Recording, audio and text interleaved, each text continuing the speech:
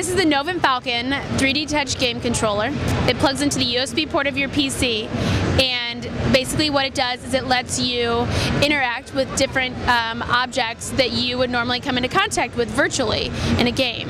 So you're gonna, that's your cursor right there and you can just move the cursor around the full sphere and you can just feel the dimensions of the sphere. You can feel that it really is um, an actual virtual object.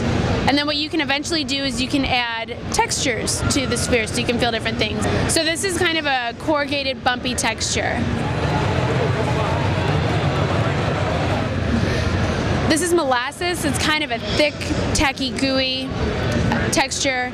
You can actually push your cursor all the way through the sphere and you can feel it pop out the back side. Um, this is ice. So you notice if you try and push your cursor through the center of the sphere, it actually can't. There's it's no friction.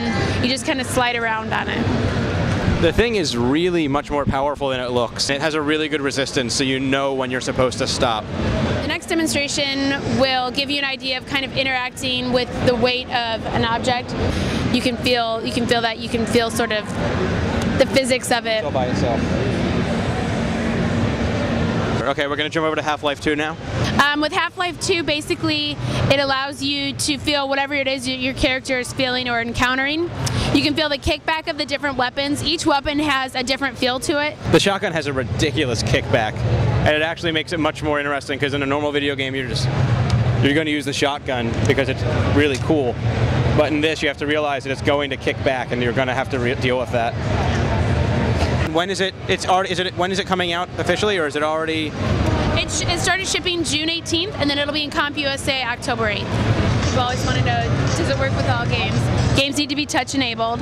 So far, how many have been released that are already like full games that have it? Right. Right now, we have our 24 games that we've developed, and we have the mod for Half-Life 2, and then um, we should have the majority of those finished um, within, like I said, by the end of uh, this year. Are you getting ready to announce any other ones? Yes. All right.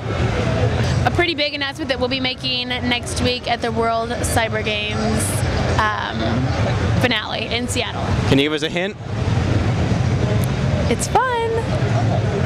that narrows it down.